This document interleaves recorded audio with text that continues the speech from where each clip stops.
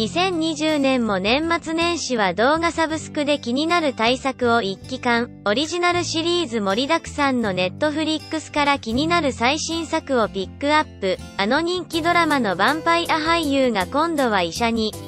V ウォーズ、医師のルーサース1は、親友のフェインが謎の病気によって人間を襲う吸血鬼のような化け物となってしまったことが発端となり、想像を絶する恐怖の世界に足を踏み入れていく。みるみる蔓延していく謎の病気によって、残忍な吸血鬼 VS 人間による激しい争いが勃発。スワンが必死に原因を探る一方で、フェインは吸血鬼たちのリーダーとしてのし上がっていき、新たな吸血鬼サーガ、V ウォーズの主人公ルーサーを演じるのは、あの、ロスト、2004年から2010年まで年の分役でスター俳優となったイアン・サマー・ホルダー。東京コミコン2019で来日した際には多くの観客が詰めかけ声援を送り、ドラマファンの間で絶大な人気を誇ることを改めて証明してみせた。イアンは自身の代表作となったドラマ、ヴァンパイア・ダイアリーズ、2009年から2017年まで年に続く吸血鬼ドラマとなるが、コミコンでも熱心に PR していたこのシリーズで彼が演じるのは、こんなセクシーな医者がいてたまるか、というレベルのイケメンドクターだ。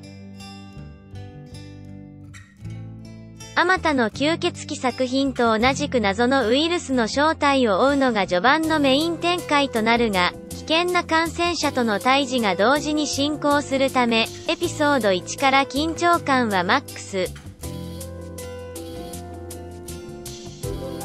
いつまでも吸血鬼が全貌を表さない、みたいなもったいぶった演出はなく、一切出し惜しみなく吸血鬼がバンバン登場し暴れ回るのが最高だ。そしてルーサー自身にも吸血鬼化の兆候が、と、あとは見てのお楽しみ。吹き替えならサクサクながら見もできるので、年始の、おこた鑑賞に最適のシリーズと言えるだろう。スーパーマン俳優が異色ダークファンタジーに挑戦、ウィッチャー、ウィッチャーは人気 RPG シリーズを原作とするベストセラー小説をドラマ化した壮大なアクションファンタジー。物語の舞台となるのは人間だけでなくエルフやドワーフなど多様な種族が暮らす世界。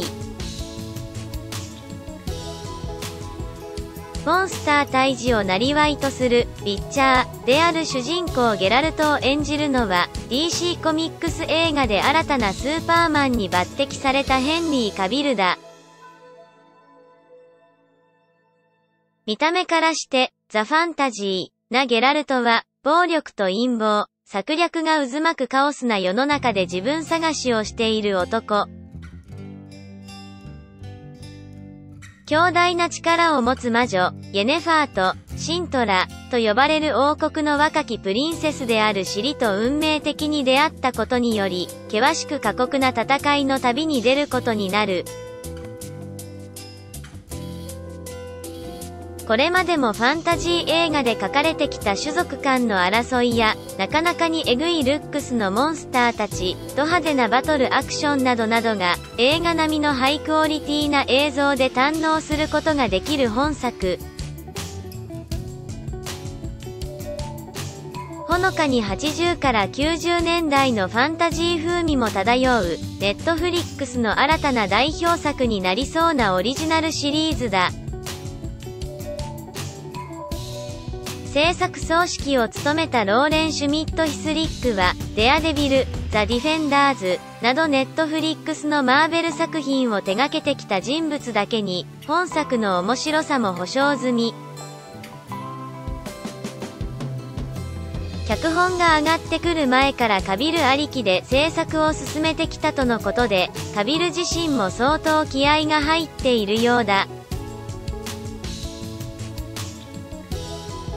まずシーズン1を完走し、シーズン2に向けて物語の世界観や種族、キャラクターの関係性などを把握しておこう。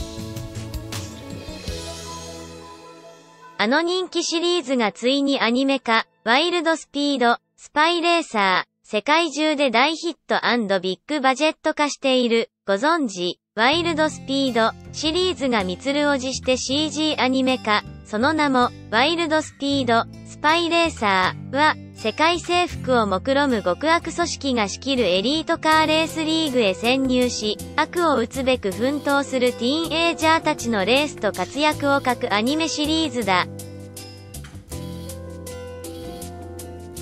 お子様の干渉に耐えうるように主人公たちのワルドはごく控えめだが、これまでのシリーズでは不可能なレベルのド派でアクションの快感度は実写をはるかに上回る。